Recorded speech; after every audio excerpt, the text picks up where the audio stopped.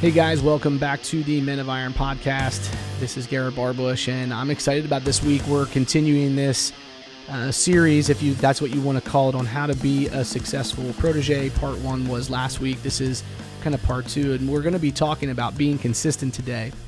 And I was trying to kind of think through how to get to this point, uh, and kind of how to stress the the emphasis or the main point of this message today. And I, I figured I'd share just a, another quick story with you uh, one of the greatest opportunities I was able to experience in life was was playing competitive golf in college, and it's a, an experience I will treasure forever.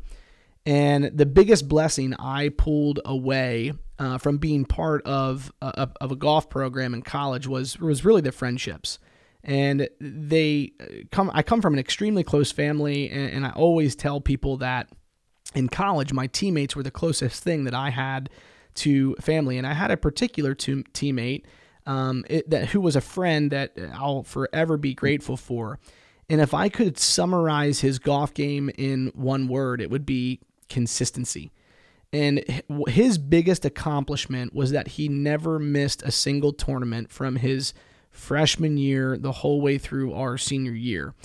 And our team typically had an average of 12 to 14 guys in the roster, but only five guys made the lineup and our fall and spring seasons were were constantly spent playing in qualifiers to see really who would be traveling on the weekends and who would be representing our university and the team would rarely ever be the same from weekend to weekend. There was always one, two, or or maybe three new guys that were rotating in, which meant that someone was losing their spot along the way. However, this particular teammate of mine, like I said, he never lost his spot in four years. His golf game was really this definition of consistency. And it's what caused him to have a lot of success at the collegiate level.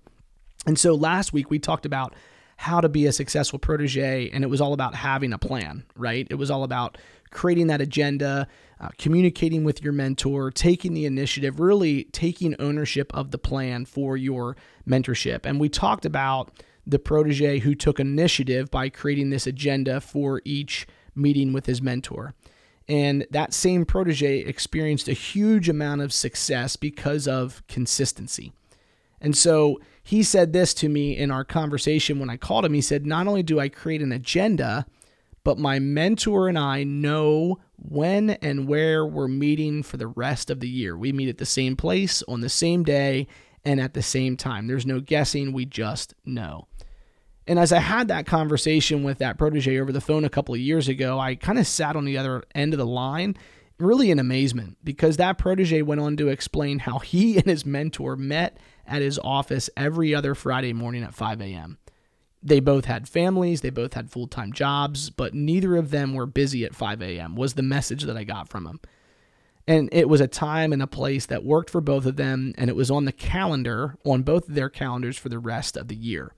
So creating an agenda helped this protege particularly understand what he wanted and it put a plan in place for him to accomplish the objectives that God really had birthed in him. However, it was having consistency that proved what kind of price he was willing to pay to get to where he felt like God wanted him to be. And so this protege and his mentor would roll out of bed at 4 4:15 in the morning with a purpose. They both had 5 a.m. penciled in their calendars every other Friday. There was an agenda with a purpose and a plan for each of these meetings. You see, guys, this is the definition of consistency. So, whether you're on the golf course or part of a mentorship, we need to be striving for consistency in our lives. And so, my challenge to us this week is to evaluate your own relationship with a mentor or a protege is the characteristic of consistency evident in your journey together? Wrestle with that this week, and we'll talk to you guys next time.